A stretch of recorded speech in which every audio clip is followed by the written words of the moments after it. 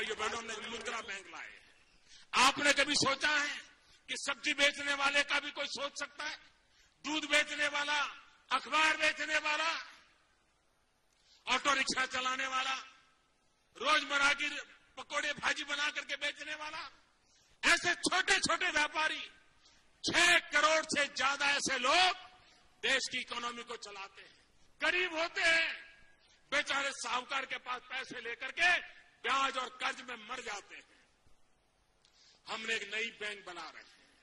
इन छोटे छोटे लोगों को, जिनको कोई पूछता नहीं था, उनको ये सरकार पूछेगी, मेरे भाइयों बहनों, उनका हाल पूछेगी, उनका हाल सुधार करेगी। अगले सप्ताह, अभी तो बजट में हमारे अरुण जी ने इसको प्रस्तुत किया, आठ अप्रैल को हम उसको लॉन्च कर देंगे और लोगों को उसका फ़ायदा मिलना शुरू हो जाएगा। कहने का तात्पर्य यह है कि देश को आर्थिक विकास के द्वारा नई ऊंचाइयों पर ले जाना है।